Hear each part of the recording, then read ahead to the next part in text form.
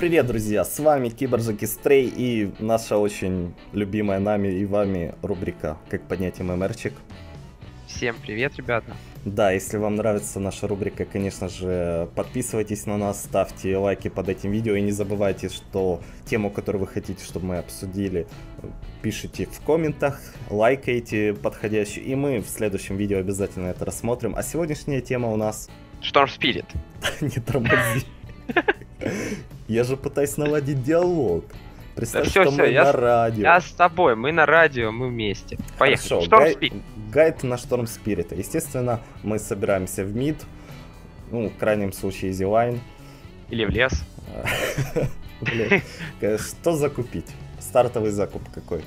Э, Стартовый закуп много вариантов, точнее, немного, их мало, но они есть.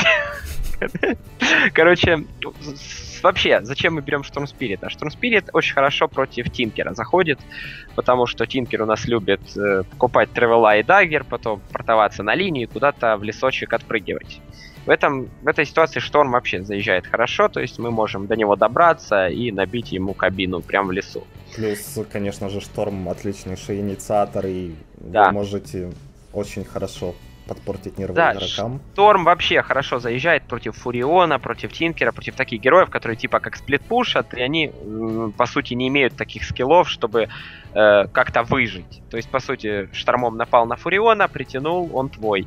Штормом напал на Тинкера, если он, конечно, не с Дагоном, Этериалом, БКБ и так далее, то он твой. Вот. На миде стоять... э, Э, Так какой начальный закуп? вот, я же к нему иду. Э, то есть идем мы на мид, смотрим, кто против нас стоит. То есть можно попытаться пойти в фаст ботл, ну это в принципе легко, то есть покупайте два тангусика, точнее один тангусик и два бренча или три бренча. Ну и просто там двух-трех крипов убиваете и ботл уже несете.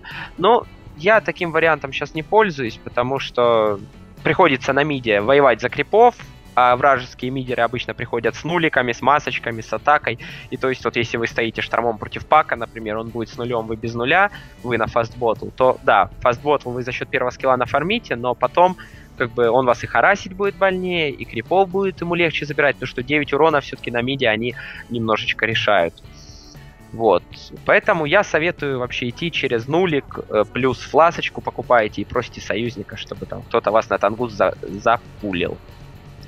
Э, Какой skill build ты посоветуешь для мида? Ну, вообще, правильный skill build это через второй skill, то есть ты качаешь первый, третий на раз, и второй на три качаешь, потому что на троечку его хватает. То есть на 4 его можно не докачивать, а потом докачиваешь третий skill. То есть второй, третий, первый на раз. Э, ну, я сейчас, когда я бущу аккаунты, я пользуюсь skill build ом через э, замакшивание третьего скилла. То есть второй скилл для чего нам нужен? Э, Чтобы, если вы его на 3 вкачиваете, то вы подходите к пацану, подлетаете на ульте, бьете его, ставите реминант, он взрывается, потом вы его притягиваете и ставите еще один реминант. То есть он там 2 секунды притягивает, и как раз реминантик его еще раз ударит.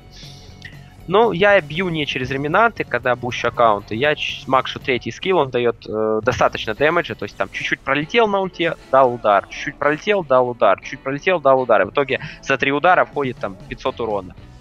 Такие дела. Но правильный Правильного- build, э, скорее правильного всего, для нет. командной игры через второй, чтобы любого поймать, и уже он точно не убежит. Там же Ну, есть Да, секунда. да, Там. да, да, это тоже для командной, то есть, если у тебя Мирана есть, да, например, союзная, которая пришла гангать мид, то есть ей легче будет стрелой попасть не по, бежу, не по бегущей цели, когда ты на пятом левеле, вот ты на 3 этот вортекс скачал, ты притянул, и она попадет стрелой 100%, так, так, так как там 2 секунды будет притяжка. То есть в этом случае, да, ну, и все, по сути. Опять же, для командной игры это такое, то есть э, третий скилл очень хорошо замедляет. То есть если ты подлетаешь к пацану, ты его начинаешь бить, если у него нету ни блинка, ни инвиза, то твои типы все равно добегут. Как правильно стоять на лайне Шторм Спиритом? Ну что, правильно фармить, ударяться в фарм. Поначалу можно, конечно, смотря какой герой стоит против тебя, можно его харасить. То есть фармите вы первым скиллом, харасите вы третьим скиллом. То есть э, смотрите, у крипа у одного пол хп. Начинаете бить другого крипа, чтобы сравнять их здоровье, чтобы вы одним реминантом убивали двух крипов. То есть ради одного крипа ставить это хорошо, конечно, да, вы его зафармите, реминант мало маны стоит 70, но все равно лучше фармить реминантом двух крипов. Ну, Поэтому вы как бы коцаете двух крипов, у них остается по четверти хп, ставите реминант, у вас заряжается третий скилл, и реминантом забираются два крипа, и вы третьим скиллом бьете по герою вражескому. И вот так вот и действуете. То есть первым фармите, третьим забираете. Ну и также можно и просто с руки фармить. Какой следующий артефакт? Неужели будет Яша? Конечно, это я, Яша, чтобы быстрее бегать. Вот, ну нет, нет, на штурме это не Яша, надо смотреть, кто против вас играет, если против вас есть хотя бы два героя, которые вас сильно контрят, грубо говоря, это Сайленсер или он, например, то в, это, в этом случае я после ПТ делаю БКБ. Никаких арчидов.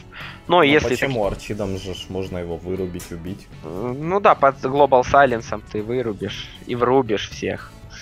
Вот. Это на каком рейтинге успевают прожать Global Silence, когда на тебе шторм вылетает и арчидом в тебя тыкает фаст Да на любом рейтинге это могут прожать, это несложно, просто вообще, если враги собираются втроем, например, Lion и Silencer, ты же с Orchid ом не влетишь, ты всех не заткнешь, все равно в тебя какой-то stun hex влетит, а потом тебя просто засайленсят, законтролят. Лучше делать BKB. Э, а в играх, если там против тебя какая-нибудь ЦМочка, Лина, там Урса, в миде Тинкер и в харде там Dark Seer, да, где нету такого контроля, то можно делать первым артефактом Orchid, он вообще очень хороший против Тинкера. Тинкер вообще не знает, что делать. Э, хорошо, вот допустим, либо Арчит, либо БКБ. Какой следующий артефакт? Э, ну, если у нас первый артефакт торчит, то второй артефакт э, по ситуации. Если все же там один герой какой-то противный есть, э, како, который чем-то нас затыкает, Doom. может там ну, нет, Doom это неудачный вариант. Doom против Дума как бы нет приема. Ленка. Вот. Ну, Ленка против Дума это хорошо, конечно, но если Дум э, не Алёша, то не поможет Ленка. Он просто даст кокос, а потом даст ульт. Кокос это третий скилл, если что. Вот. Поэтому Ленка не поможет. Ну, смотреть надо. Если вы сделали первым артефактом БКБ, то дальше надо думать. Если это минута игры где-то 20 то арчит нет смысла делать, потому что арчит хороший артефакт до 20 минуты игры. После 20 уже хекс намного полезнее, потому что после 20 игры у вражеских керри и разных героев могут появляться БКБ. А арчит, он как бы ты его вешаешь, парень включает БКБ и все, и арчида нету. Поэтому нужен хекс. В хексе нельзя ни БКБ включить, ничего сделать. А как же, к примеру, Bloodstone первым вторым артефактом? Bloodstone, он слишком пассивный в том плане, что он не дает дэмэджа, не дает... Вот Арчит, например. Что Арчит дает? Арчит дает мало того, что Сайленс, он дает очень много дэмэджа, так как там два кватерстафа в его рецепте. Он дает много дэмэджа, еще и скорости атаки. То есть ты с этим арчитом можешь просто убивать все, что движется. С Блудстоном он тебе, кроме как маны и хп, ничего не даст. 10 дэмэджа, по-моему, Блудстон дает. Единственное, что я помню. От, от персика, да. От персика, да. Все. То есть он тебе ни скорости атаки, ничего не даст. То есть ты кусок мяса просто летающий, и ты быстро героя не убьешь. То есть ты героя убьешь раза в два быстрее с арчидом, чем с Блудстоном. Поэтому не знаю, не вижу смысла покупать Bloodstone. Ну вот, допустим, собрали мы БКБ и Хекс. Какой следующий там? Шива или что ты посоветуешь? А, а, смотришь на героев, если против тебя много героев, бьющих с руки, то можно купить Шиву. Она дает армора, нам будет приятно. Она еще и замедляет скорость атаки у врагов на 15%. Вот, покупаешь Шиву. Если против тебя мало таких героев, то есть если против тебя там всякие магии, раскастовщики, то в принципе, без разницы. Можно и Скади сделать, и Ленку сделать, и э, Шиву купить, и Блудстон. То есть там вариантов много. Хорошо, давай тогда стандартно пройдемся поминутно по Затару, примерно какой он должен быть, чтобы люди ориентировались. Вот э, начальный мы уже сказали. Пятая минута. Что у нас есть? Сапог, баночка, стик, э, нулик. Это если мы через нулик пошли в мид. Угу. Десятая минута. ПТшечка появляется и там какие-то небольшие денежки на руках. Обязательно именно ПТ, не Аркана, да? Нет, Арканы, если вы идете не в Bloodstone, чтобы потом Арканы разложить, как бы, то нет смысла от Арканов никакого.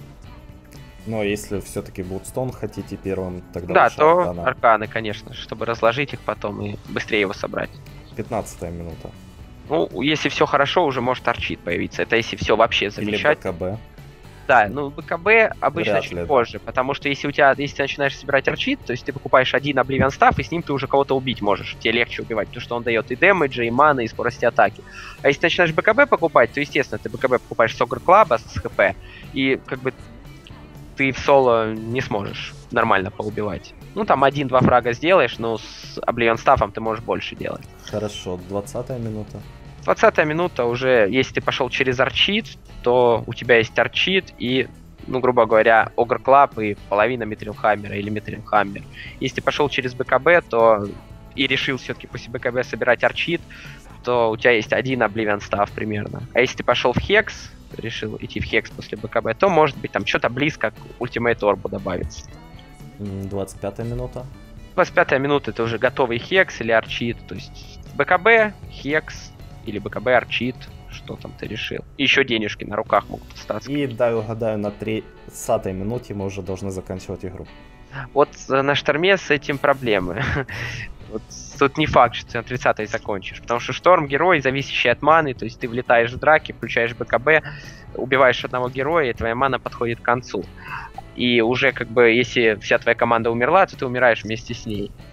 Поэтому это уже зависит от того, насколько у тебя герои в команде пушащие, насколько у тебя адекватные люди.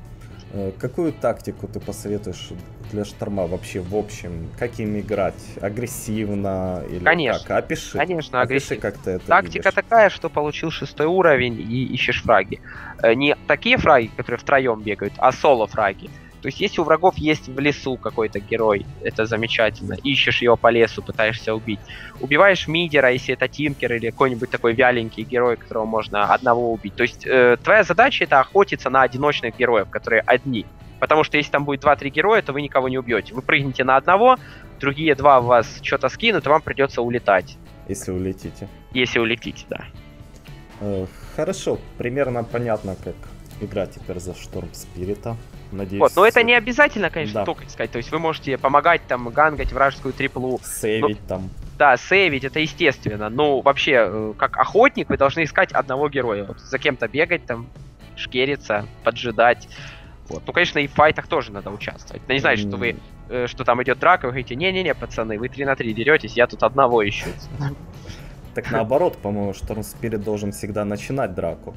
Нет, но начинать драку это уже в более такой игре, когда драка 5 на 5. А когда у врагов идут 5 героев, а вас двое стоит, то если ты начнешь драку, то ты ее и закончишь, по-моему, сразу. Э, То есть, Хорошо, есте- естественно. да, у меня последний вопрос, и на чем мы закончим. Э, Как ты относишься к такой фишке, чтобы через shift э, летать с фонтана к бараку и обратно? Всегда это делаю, когда мой трон падает. Ну, А так, как а по зачем? дамаге нормально наносит? Отвлекает врагов, даст возможность задефать лайну лучше? да нет, конечно, не даст, потому что это все бред. Сколько ты урон нанесешь? Ты летишь, но ты урона 150-200 въедет. И улетишь на базу и будешь потом 10 секунд э, ботл пить, чтобы ману отрекенить. Не, ну это можно делать, конечно, когда вообще все печально, но это не слишком вам поможет. И так как у нас когда-то там было про рапиру и Мидас, покупать ли эти артефакты на шторма? Мидас вообще нет, он не нужен. Шторм, он может э, делать себе отводы в лесу какие-то, потом через первый skill все это быстро фармить. Он и так будет получать level. Плюс Мидас, как бы что, он скорость атаки даст и больше ничего. А, за рапира? рапиру можно. Вот рапиру можно, но уже потом. Когда будут 6 слотов, я так понимаю. Да, да, да, это самым последним артефактом можно купить. Это если уже вообще у тебя в команде керри печальный и дэмэджа мало. Тогда можно купить рапиру. Ну что, спасибо за гайд на шторма. Ребята, не забывайте ставить лайки, если вам понравилось, подписываться э, на канал Твича Стрея. Э, в паблике э, мои его все ссылки есть, конечно, на плашечке и в описании. Пишите свои вопросы и что вы хотите в комментариях. Всем удачи, всем пока. Всем пока. Прокачать свой аккаунт Доты 2. Переходи по ссылке в описании.